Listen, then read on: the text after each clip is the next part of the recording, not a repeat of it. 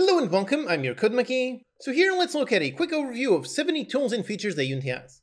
This is actually a lecture taken from my Ultimate Unity Overview course, which you can pick it up with the link in the description. There are individual lectures explaining each of these tools and features in detail in the course. Over here, let's look at a quick overview, starting from the absolute basics until the more niche complex tools. Try to see how many of these you actually not know about. In this lecture, we're going to see a quick overview of all the lectures and all the tools and features we're going to learn in this entire course. Okay, so we're going to start off this course with the absolute basics. So starting off with the Unity versions, we're going to learn what is a preview version, what is alpha, beta, and LTS versions, as well as which one you should choose. Then we're going to learn about the Unity Hub. This is the program that manages all your Unity installs and all your projects. It's where you create new projects, select templates, and upgrade them. Next, we're going to learn the basic editor windows, learn about the hierarchy, the inspector, what is the project window, difference between game and scene view, and so on. After that, we're going to learn how the Unity layout is customizable. You can place windows pretty much wherever you want them. So you can set up your own custom layout, or you can follow my own, and then you can also save it. Next, we're going to learn about the various rendering pipelines that Unity has. There's the built-in render pipeline, the universal render pipeline, and the high-definition render pipeline. This impacts what shaders you use and how your game will render. The right pipeline also depends on your target platform. Then we're going to learn about the package manager. A lot of things in Unity are actually in their own packages. They don't all come installed by default. And this, the package manager, this is where you install and uninstall those various packages. Doing it this way keeps Unity nice and modular, so you only need to install the packages that you need. Next, we're going to learn about 2D and 3D. Unity is capable of making both, and most things in game development are the exact same in 2D and 3D. So here we're just going to learn about the handful of things that are different, things like the camera setup, using sprites instead of meshes, and so on. Then we're going to learn about visual scripting. This is how you can make entire games without any code at all. This is a visual tool where you connect nodes to one another in order to set up some logic. You can combine it with C Sharp, or like I said, make entire games just with visual scripting. Next, we're going to learn about post-processing. This is one of the easiest ways to make your games look really awesome. The difference between with and without post-processing is truly insane. Then we're going to learn about another sort of post-processing effect, but one that is added in a different way from all the others. This one is ambient occlusion. This is one of my favorite effects. It adds some shadows to your game to make everything feel much more grounded. Personally, I always add this one. After that, we're going to learn about text and the difference between the Legacy Text and TextMesh Pro. TextMesh Pro is super capable, you can message your text in any way you want. Then we're going to learn about prefabs, what exactly they are and how you can play around with them. These are prefabricated objects. You can easily create a prefab and spawn any number of copies. Then we'll learn about the Unity package. This is Unity's own file format for storing multiple files in a single file. You can export your own Unity packages and import others. For example, my own utilities are in a Unity package. By the way, this is also different from the Unity package manager. These are just simple files. Next, we'll learn about grids. Unity has a bunch of tools to help you organize your objects in your world. You can set up some visual grids, you can define the size, enable or disable snapping, so this one is super useful for doing level design. Then we're going to learn about render texture. This is an awesome Unity feature where you can render a camera onto a texture, so what the camera sees is actually drawn onto that texture. Then of course you can use some shaders to make some really interesting things with that texture, or perhaps just make a simple minimap. After that we'll learn about the video player. This is how you can play some videos, meaning some MP4 files or other formats, and you can play them directly inside Unity. This is an excellent easy way to show some animated video directly in your games. For example, a lot of games use this kind of thing for things like tutorials. Then we'll learn about one of the most powerful Unity tools, the shader graph. This is a visual tool that you can use to make your own custom shaders. This one is insanely awesome, insanely powerful. Personally, I cannot write any text shaders, but I can do quite a lot of awesome things using shader graph. Next is the trail renderer. This is how you can easily set up a trail directly in your game. You just add a component, and as the object moves, it will automatically spawn a trail, so it's super easy to use. And of course, you can customize it with all sorts of options, including using some custom shaders. Then we'll learn about the Unity microgames. This is something that Unity has made where you have some tiny games with some tutorials and all the source code available. These can be a great starting point if you want to try out some new idea. Next, we'll learn about ProBuilder. This is a tool inside Unity that will help you make some 3D modeling directly inside the engine. That way you don't need to use a third-party external tool. This one is actually pretty capable, and it is insanely useful for something like quickly grayboxing a brand new level. Then we'll learn about render pipeline objects. This is something you can add to your renderer asset that allows you to render some objects in different ways. This makes it really easy to do things like a see-through visual, or just render different objects with a unique shader or make something cut out. You can play with shaders, layers, and a bunch more. Next, we'll learn about assembly definitions. If you have issues with code compilation time, then this is what you want to learn about. You can split your code into multiple assemblies, and when you modify something, you only need to recompile the assembly that changed.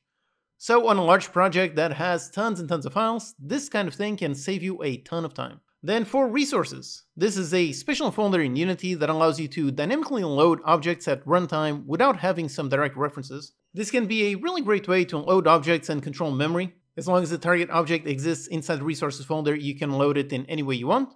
Although this one is more meant for simple use cases, it doesn't have much complexity. If you want to do loading of more complex things, for that you want to use addressables, which is covered later on in the course. Next we're going to learn about game object icons. This is a tiny thing, but it's quite useful, especially in large projects. It's how you can add icons to your game objects and easily see them in scene view or game view. After that is a super important lecture, one about pivot center and local global, these two buttons. You really, really need to know about these. If you don't, then you will go insane at some point.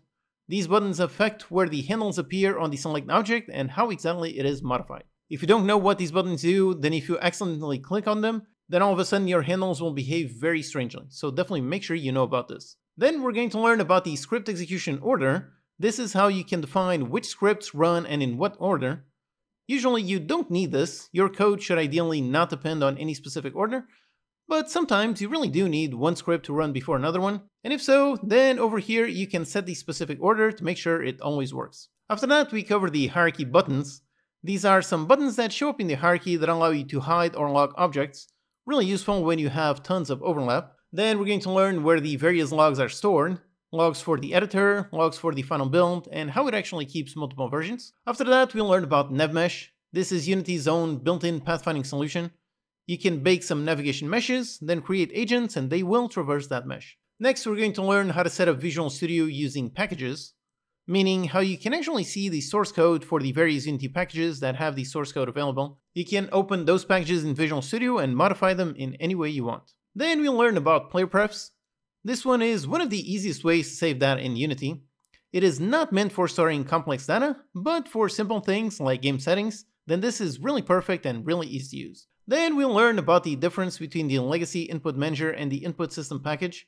These two are quite different, Although the legacy one still has its use cases, it is super easy to use while the input system is much more capable, but also a little bit more complex. So speaking of that, the next lecture is exactly on the input system. This is a super powerful tool for handling input. You separate the actions from the actual physical inputs, which makes it really easy to make your game playable on anything, mouse, keyboard, gamepad, touch, and so on. Then a super useful lecture, one on how to find class names and namespaces, this is super important to know in order to learn how to interact with all the Unity tools and features through code.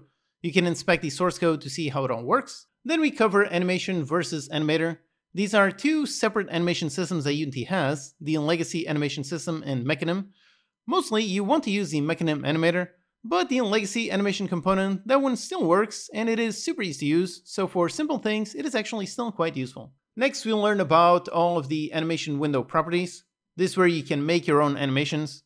You can set up keyframes for anything you want to store, any field, any data. You can look at the curves to see how all the parameters change. There are quite a lot of options in this window and here we're going to learn all about it. Next is a lecture on the animator. This is where you have your state machine for all your animations. You can define all the states, all the animations in various states, then define all the transitions and how exactly they are triggered. Then we'll learn about the animator blend trees. This is a really awesome feature where you can combine multiple animations into a single state. It is how you can have animations for moving in all directions and choose the correct animation to play based on parameters. Next we'll learn about animation avatars. This is the file that is on a per mesh basis that links all the bones with the actual body parts. You need to make sure to use the right animation avatar for that mesh in order to retarget the animations. After that, we'll learn about the animation rigging package. This is a super cool package for helping you do inverse kinematics, or IK. This is how you can add some dynamic movement on top of your animations. You can do things like having the legs play a walk animation while the upper body holds a weapon and aims toward the target. Then we'll learn about the ProBuilder Cut Mesh feature. This is a really awesome feature. It's marked as experimental but usually works great. You can take two meshes and do some operations on them. You can join, intersect, or slice, so it's really great for modifying whatever assets you already own. Then we learn about raw image versus image and sprite versus texture. This is pretty important to know, you need to use the right component depending on the import options of your assets. After that we'll learn about the Unity web requests. This is how you can do an HTTP request to some web server. You can use this for literally anything, for example contact the server to check the latest version of your game, or maybe download some custom mods. Next we'll learn about a bunch of UI effects that Unity has by default. These are really easy to use, just add the component and it all looks pretty good. You can add some shadows or some outlines. Then we learned about Ragdoll. This is exactly how you set up a Ragdoll in your game. You just assign all the body parts and the Ragdoll wizard will automatically set up all the colliders and rigid bodies to make them have physics. Adding Ragdolls is always a great way to add more polish to your games, and thanks to this wizard, it is actually surprisingly easy. Then a super important lecture. This one is not an Unity feature, but it's still extremely important. It is my four-step process for solving null reference exceptions. This is the most common error of all, so knowing how to solve it is extremely valuable. After that, we'll learn about JSON and JSON utility. First, what exactly is JSON? It is a data format to organize whatever that you want as text. And then JSON utility, this is a Unity class that helps you convert to and from JSON. Next, we'll learn about addressables. This is a slightly complex tool, but one that is really powerful. It allows you to have control over how you manage your objects in memory, how you can choose when to load them dynamically. Then a lecture on how to set up addressables with a remote URL, meaning how to grab addressable data from a remote server. This is how you can make things like have your game with some sort of special event without having to update the build executable. The game just grabs the latest addressables from a server and you can very easily update that one. Next is Cloud Content Delivery. This is Unity CDN. It is their content delivery network. You can host your addressables data yourself if you want, but using Unity's Cloud Content Delivery makes it so much easier. After that, we're going to learn about dynamic resolution. This is how you can render your game at different resolutions to make it run better on weaker machines. You can set this up dynamically so it automatically scales up or down depending on demand. Next, we'll learn about the build size report. This report is a pre-hidden feature of Unity, but it's actually super helpful. Here you can see exactly how big your build is and what assets make up that size. If you're making some game that you need to be compact, then this report is super useful for figuring out exactly where you can optimize. After that, we'll learn about Unity Authentication. This is an essential step in using many of their tools. Thankfully, it's pretty easy to use. You can sign in anonymously or with an actual account. Then we'll learn about Remote Config. This one allows you to define some parameters in the Unity dashboard on the web. Then you can set up the game to grab those parameters to do something, like for defining some boss's health, and through the dashboard you can update those values without having to modify the build. Next is game overrides. This one is similar to remote config in that you define some parameters on dashboard, but rather than just some simple values, you can actually override lots of things. So you can use this to make things like a Christmas event, where it will override a bunch of assets, but only while the event is live. Then we'll learn about netcode for game objects. This is Unity's own oh tool for helping you make multiplayer games. It is really easy to use, just add some simple components and you have a full network connection working. It is infinitely easier than it was many years ago. This is their tool stack for game objects. There's another one specifically for making dots multiplayer games. Next we'll learn about Lobby. This is a tool that helps you group your players together before starting a multiplayer game. And after that we'll learn about Relay. This one helps you connect your players together even if they are behind firewalls or not. This one is a must for any player hosted games. After that we'll learn about game server hosting. This is their tool for setting up dedicated servers. You can make the server build and it will automatically spin up or down more or less servers depending on demand. Then comes the matchmaker. This one helps you match players together based on various parameters. So you can define some skill rating and only match players with similar skill, or you can do it based on geography, time played, or really any rules you want. Next is Cloud Save. This is a really useful Unity tool for storing player data in the cloud. This is how you can give your players cloud saves, meaning let them save their player file or save files in the cloud so they can play from anywhere. After that is the decal projector. With this one, you can project some textures onto your geometry. It is projected, so it takes the shape of whatever geometry it's pointing towards. So this one is perfect for things like bullet holes or bullet effects. Then we learned about the frame debugger. This one lets you pause your game and analyze each of your game's frames as they are being rendered you can see all the exact passes and all the materials and shaders that are being used in each pass. Then we have Cloud Diagnostics. This one is one of my favorite tools. It is super easy to use, you just toggle on an option and it will automatically receive information when your players encounter some errors or some crash. Next is user reporting. This one works on top of Cloud Diagnostics to support some manual player reports. Players can include a screenshot with their problem and send it to you as developers so you can fix it. Then we cover the localization package. This one is really awesome for localizing everything in your game. It supports text, audio, images, and really any asset type. Localization is super important and something you should definitely always do. Thanks to this package, it is surprisingly easy to do. After that, we cover the TextMesh Pro fallback feature. This one is especially important with localization. You can add a fallback font so you can render various fonts for various texts using different glyphs. Alright, so yep, that's all the contents in this course. As you can see, Unity has tons of tools and features that do all sorts of things. By learning about these, you will make yourself much more productive, Chances are you didn't even know some of these existed, so now you do, and by watching that lecture, you'll learn how to use that tool or feature. Alright, so yep, that's an overview of the 70 tools and features explained in my Ultimate Unity overview course. If you want to learn about all of these in more detail, then check out the full course with the link in the description. Alright, so thanks for watching, and I'll see you next time.